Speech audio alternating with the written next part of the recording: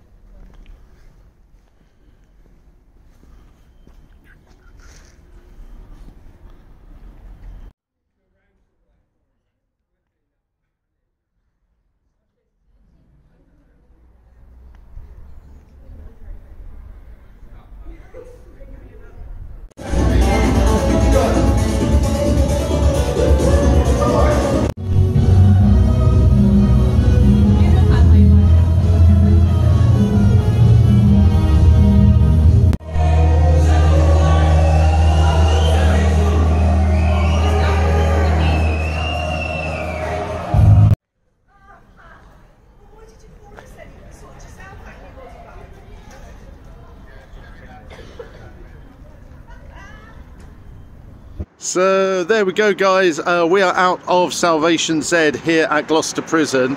Um, you've probably seen, um, yeah, we went for the full Bedlam ticket, and that was pretty, pretty extreme. Um, you know, not when we say extreme, we had stuff thrown at us. Um, you know, lots of liquid squirted on us. I am covered in Nutella. I think it's Nutella. It's obviously meant to look like shit. Um, yeah, apart from one actor who had a fake hand and kept hitting me with it. And I actually, I actually turned around and said, "Stop bloody hitting me with that."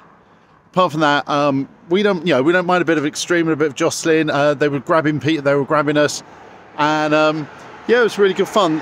It's completely different to when we did it before. Last time it was one big zombie trail through the whole uh, prison.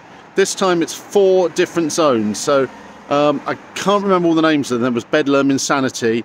Um, one goes up through the hospital part of the prison. Uh, one goes through the actual old prison wing, um, like you see on TV, you know, where you can look down and there's like, you know, um, netting to stop people jumping. There was a one that went through the sewers and the tunnels. Basically, you had to find the way out of a cell through a, through a toilet, and then you climbed uh, through tunnels and everything to get out of there. And then there was one that just, I don't know which one it was, I'll have to check uh, them all again. Um, but um, yeah, that was one that absolutely covered us. Um, we got locked in a cage. I was separated. I was sent through most of the maze on my own. Uh, had a pretty uncomfortable um, run-in with um, somebody, as I said, who had lots of body parts and was trying to put stuff all over me. But all in, that was really, really good fun. We want to thank the guys um, here at Salvation Z, Gloucester Prison.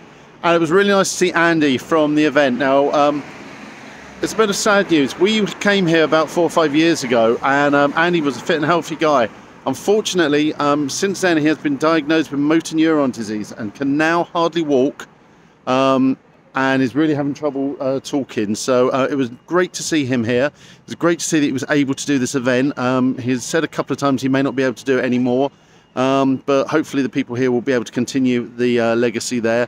Um, so just want to thank you, Andy, for inviting us again. We really enjoyed it, even though we are absolutely covered in shit.